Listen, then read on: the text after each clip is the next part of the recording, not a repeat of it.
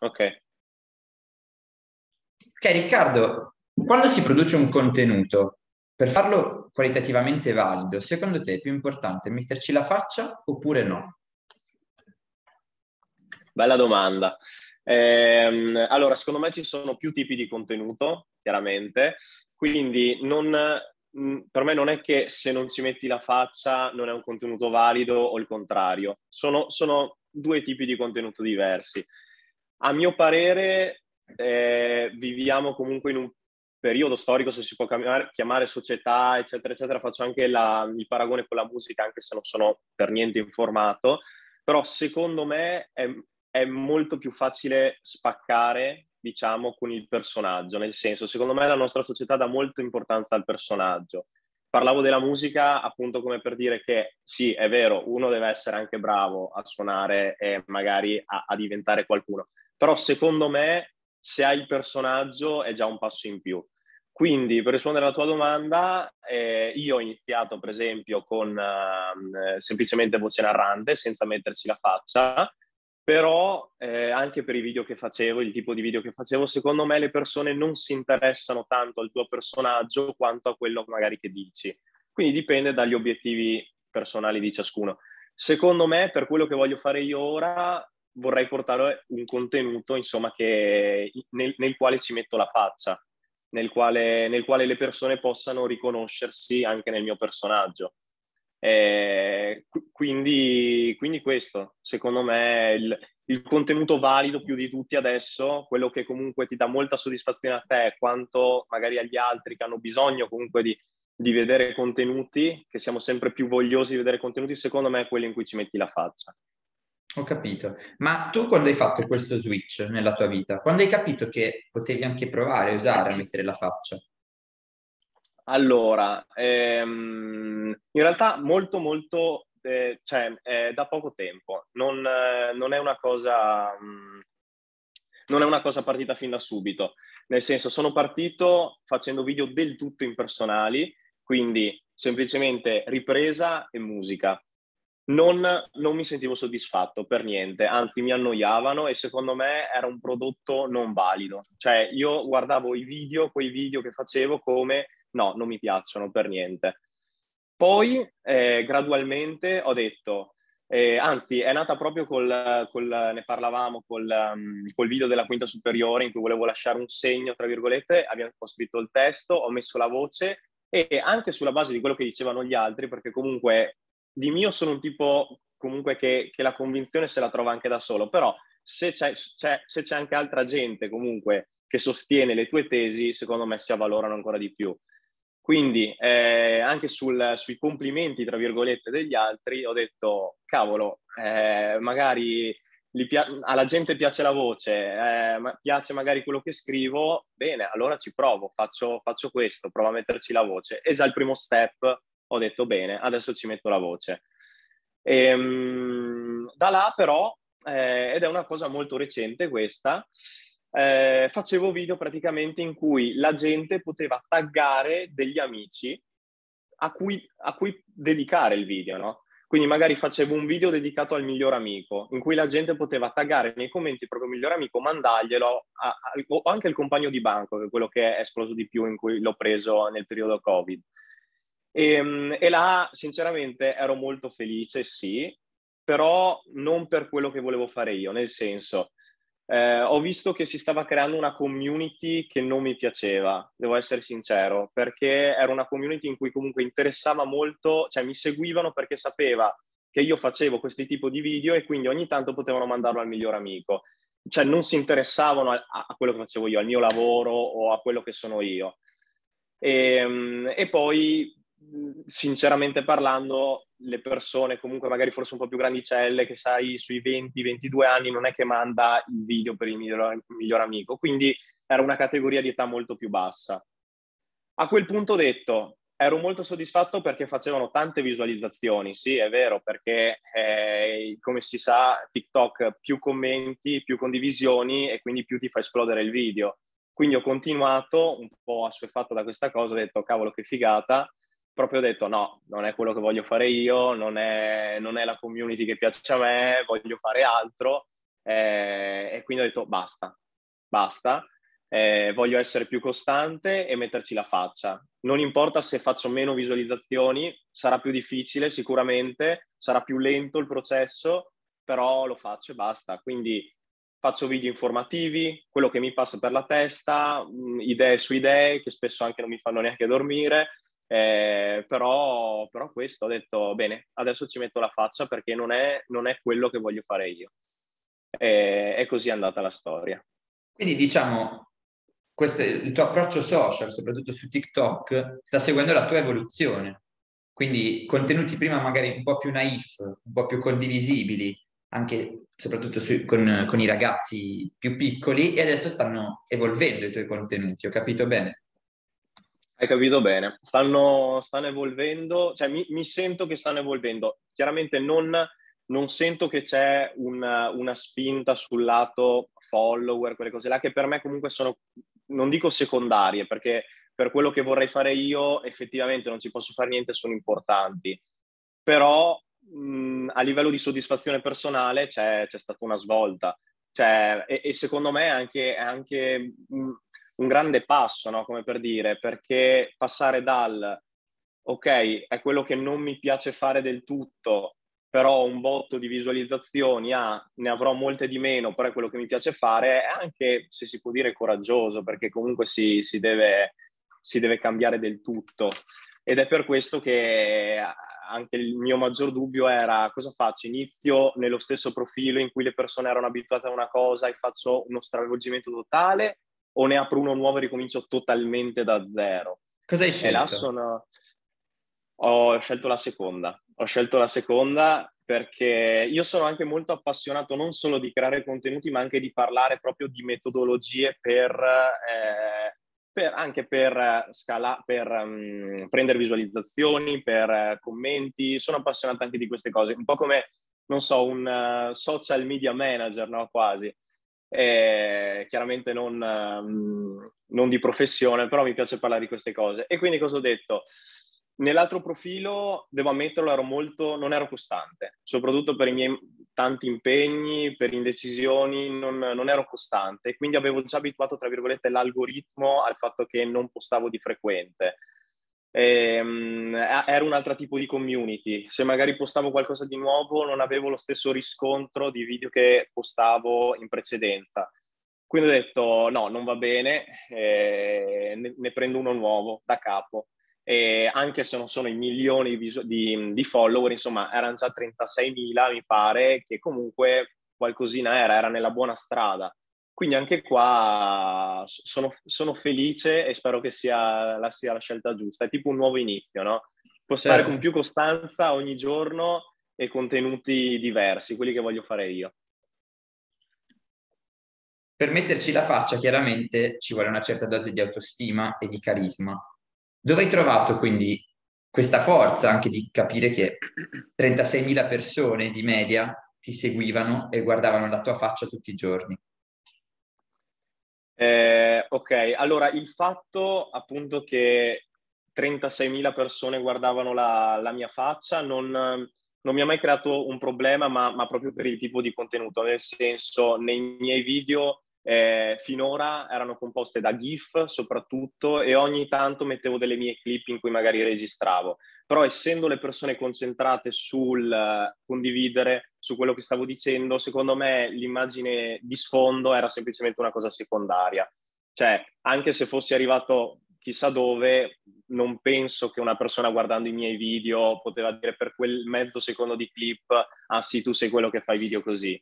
Quindi quello non, è, non, è, mai stato un problema.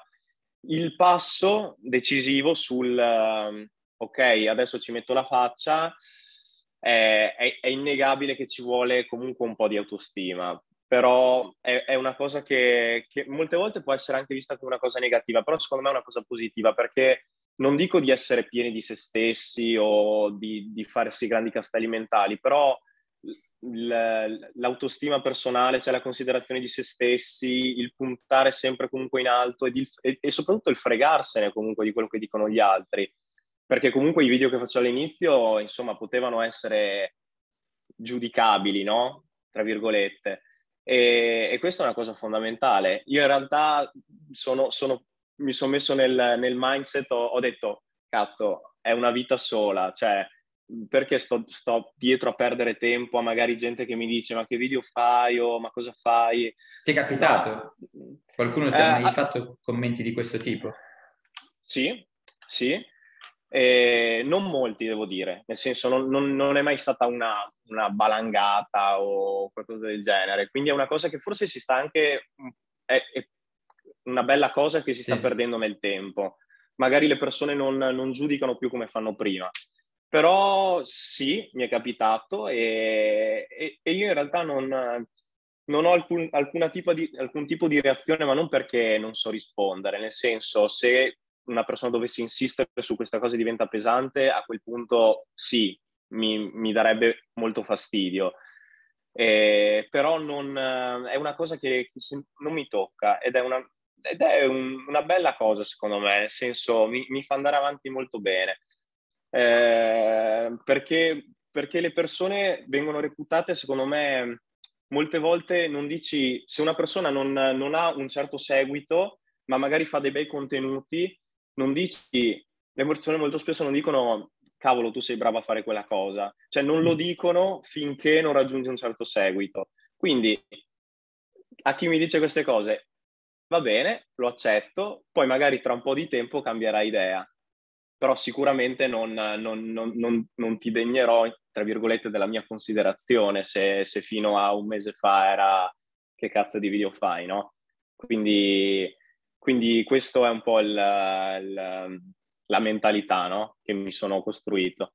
Certo, tu comunque sei molto curioso come atteggiamento e, e, e, ti piace anche apprendere, avere una community di persone che la pensano un po', un po come te, da quello che ho capito. E, ehm, qual è la tua primaria fonte di ispirazione, se c'è, e che video guardavi quando hai iniziato?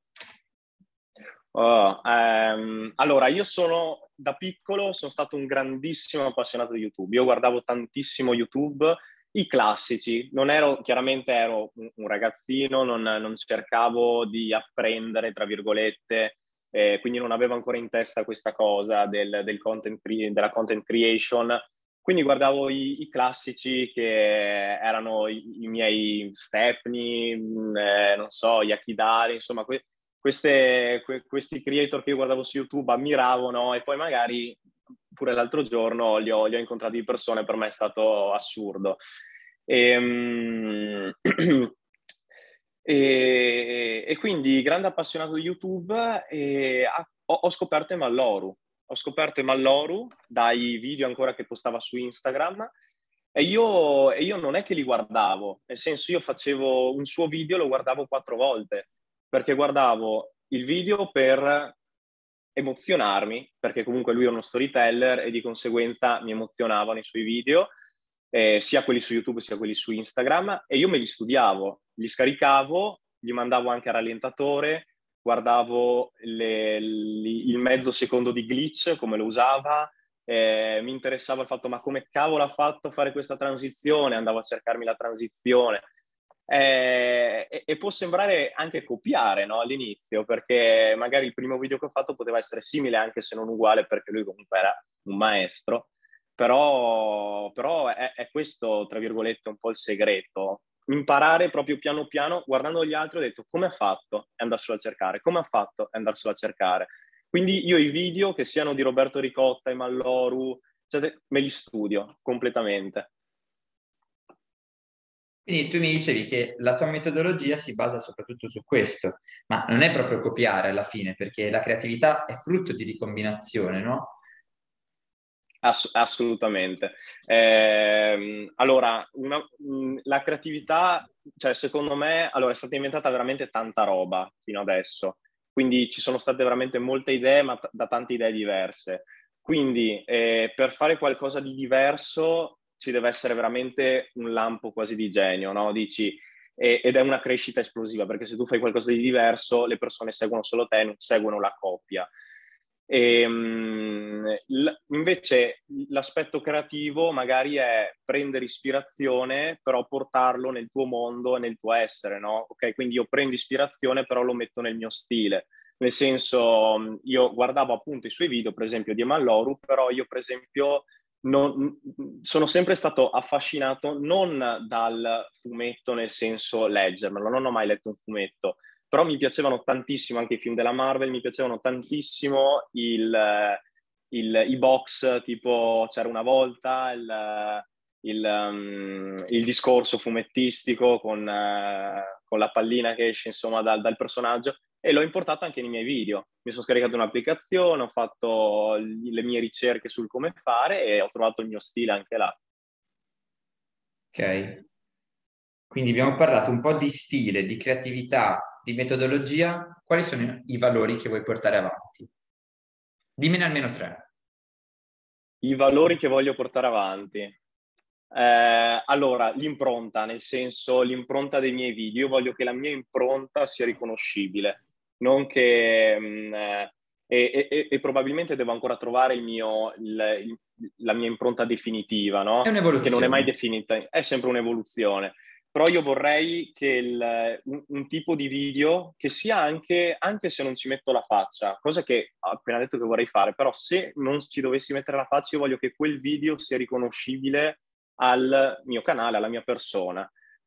E, um, il, um, sensibilizzazione, nel senso che, eh, non so, io sono sempre, non, non sono mai stato, una, se si può dire così, anche se esagerato, magari un bulletto, qualcuno che non sono tuttora capace di prendere in giro una persona, a meno che non, non ci sia nel, um, nel, nel, discorso magari la battutina per far ridere, però proprio l'insultare non sono mai stato capace per questo, per questo, è, questo è un valore che vorrei portare avanti, perché io non concepisco come una persona possa, mm, possa insultare o comunque sminuire l'altro, no? ma anche nei social. Capisco che è molto più facile davanti a un computer, davanti a un telefono, però non, non capisco perché devi buttare giù una persona che sta facendo un buon lavoro. Quindi questo è un altro aspetto. In particolare quindi sensibilizzazione sulle piattaforme online, sui social, in questo settore sì, perché... che va un po' regolarizzato. Sì, eh, ma anche sì, nei social, quindi nella scrittura, nel, nel commento, però anche proprio una questione generale di, di, di comportamento proprio. E, e, chiaramente lo faccio tramite i social perché è il modo più, insomma, più, più veloce, più, più globalizzato.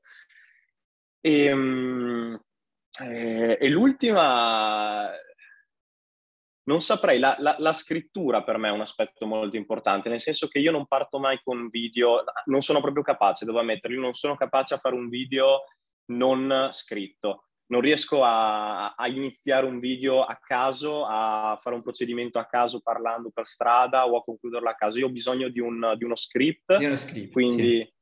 Esatto, quindi mi, mi, metto, mi scrivo il video, cerco di essere il più naturale possibile, però ho, ho bisogno del, della scrittura ed è, un, ed è, un, aspetto che voglio portare avanti perché mi, mi, mi piace avere tutto, tutto, sotto controllo anche nel linguaggio, no? Mm.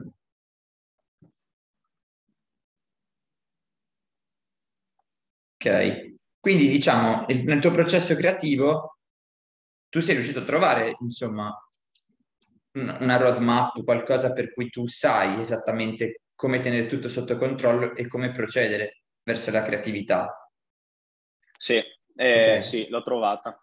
L'ho trovata, l'ho trovata proprio esattamente nella scrittura, perché io prima di un video, chiaro, se vedo qualcosa di bello in giro in cui fare i, i cosiddetti b-roll, quindi le riprese di riempimento, lo faccio, le inserisco. Però sì. la struttura per me è, è totalmente scritta.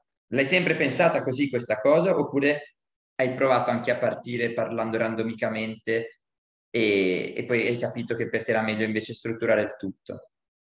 Eh, in realtà no, è sempre stato così perché, perché è, secondo me è proprio una questione di, di essere e di personalità. Io sono una, una persona molto ordinata ehm, eh, questo, sono una persona molto ordinata che ha bisogno di avere comunque tutto sotto controllo e soprattutto non sono, non sono una persona, a, al contrario di quello che può sembrare, magari facendo questo, magari facendo video, postando sui social, al contrario non sono una persona social, nel senso le mie cose mi piace, tener, mi piace tenermele, tenermele per me.